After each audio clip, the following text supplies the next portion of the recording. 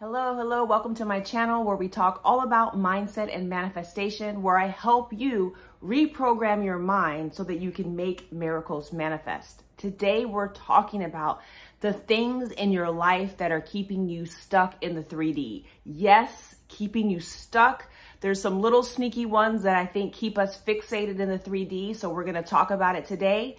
But before we do that, I wanna remind you that there are two ways to work with me, one-on-one coaching or email coaching. Both are available listed below, as well as two communities of like-minded souls who are on this beautiful manifestation journey. I'm inviting you to connect there as well. But today I wanted to get on here quickly and talk about the ways that I'm seeing people still being stuck in the 3D. But first, let me describe or let's talk about why you don't want to be in the 3D. Well, as we all know, we create from the inside out. So whatever you're seeing in the 3D right now, usually it's something that you might want to change because you've decided to manifest something differently. That 3D that reality in front of you, the thing that you're seeing with your eyes is actually old news. It is the past. It's what you have been creating. It is the result of your past thoughts, feelings, and your dominant states and your dominant thoughts, your previous natural assumptions. So the goal with manifestation is to make our conscious things that we want, our conscious thoughts, our dominant states, our natural assumptions, the things that we want to manifest, that we want to be intentional about manifesting. So if you're seeing something in your current 3D, don't think about it being real or being it now. Think about it being the past, okay? Think about it being the past.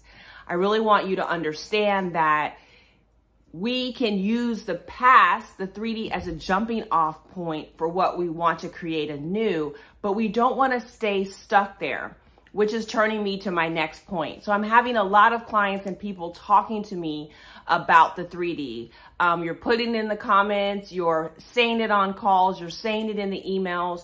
And so I just want to kind of alert you to, I feel like some of the insidious ways that you get stuck in the 3D. So most of us know that we are not responsible for the how, right? We are to take the ideas that we want to create, those manifestational thoughts, those um, imaginary acts, those vision, those stories, the wish fulfilled, our desires to live in the wish fulfilled. And we are to focus on that through those imaginal acts, the inner conversation, through scripting, through affirmations, through the techniques that help you get into the feeling as a secret or get into the wish fulfilled. But more importantly, it is creating a new track in your mind of the way that your thoughts work for you in your life, the way your self concept is put together, the way that you think about yourself and think about your life, and ultimately that you know and believe that you're going to have whatever you're seeking to manifest. So that is honestly the goal. The goal is not the technique. The goal is to get yourself in a state of having a natural assumption about whatever it is that you're going to manifest and that you start to feel it as real. You know that it's coming. I have videos on how you know your manifestation is coming. That is the whole point. But many of you are paying way too much attention to the 3D. And I want to share with you some of the ways that I'm seeing that you're doing this. And that is you are focusing on the how. Okay.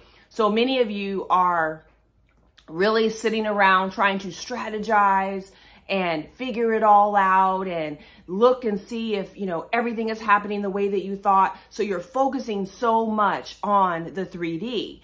Um, it's not like you are manifesting it and knowing that's happening. The energy here is different. It's not like you're taking inspired actions. That is completely different. And I'm going to do a whole video on inspired action and how how kind of the bridge of events or bridge of incidents starts working in the background and you are a part of that and the steps that you take, no, this is a different energy. This is a different feeling. This is not the same. There's subtleties, there's subtleties here in manifestation, and this is one of them. This is you in a more fear mode, panicky mode, worried mode, trying to figure it all out. You're trying to do the how. And we know as conscious creators, as manifestors, we're not responsible for the how. Not really. That's where God comes in. Higher power, whatever that is for you. Um, the 5D, right? That's what happens. The how and the when are not up to us. So if you find yourself concentrating on the how, how am I going to get this done? Making all these extra strategies, doing backup plans and, you know, plan for the plan and the, and the A and the B and the, um, talking to a lot of people about the current situation, you are getting stuck in the 3D. So let me give you a couple ways that people are stuck in the 3D that I'm seeing showing up and I don't think they realize it. So for one, some of you are into tarot and you're listening to tarot readings every day. Tarot can only show you what you are energetically presenting right now or have presented in the past. And as you know, it can change. Um, I'm not here to say whether you should do that or not. All I'm saying is that this is one of the ways that keeps you stuck. This is a reflection usually of past energy, and it's not really showing you what you can create.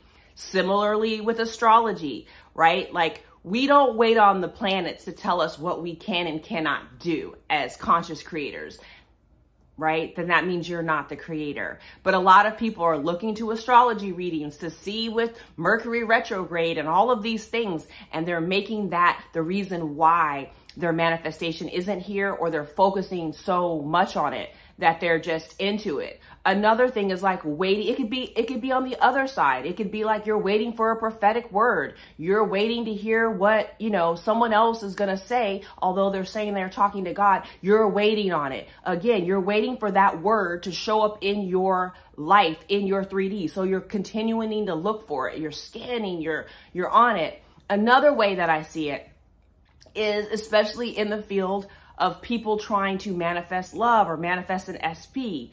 You know, they're on all the YouTube channels listening to all these people talk about relationships, talk about how horrible it is.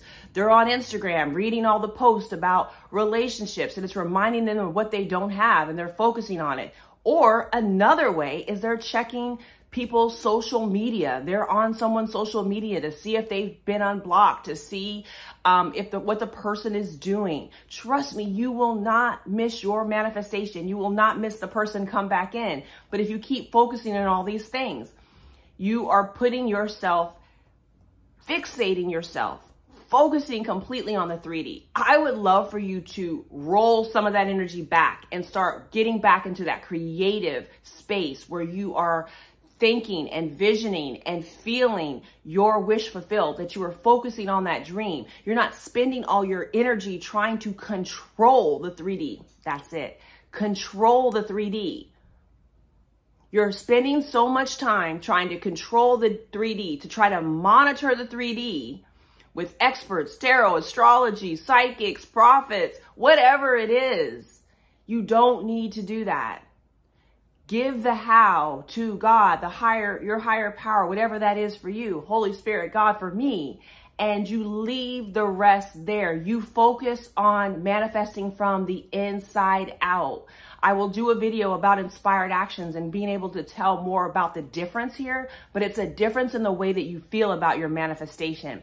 I know when I'm getting an inspired action. I know when I am in flow. I know when it feels right. I know when I'm operating from a place of having it and being it and my self-concept is lining up with it versus operating out of a place of fear and worry and doubting that's causing me to do all of this checking and all of this doing and all of this planning and all this performing and all of that. And so I'm encouraging, encouraging you today to go back to the drawing board, go get quiet, return to the inside, return to your inner states, return to your inner truth and re, revive your operant power, revive that creator in you. I think that it's so important. People are watching all these videos, even on manifestation.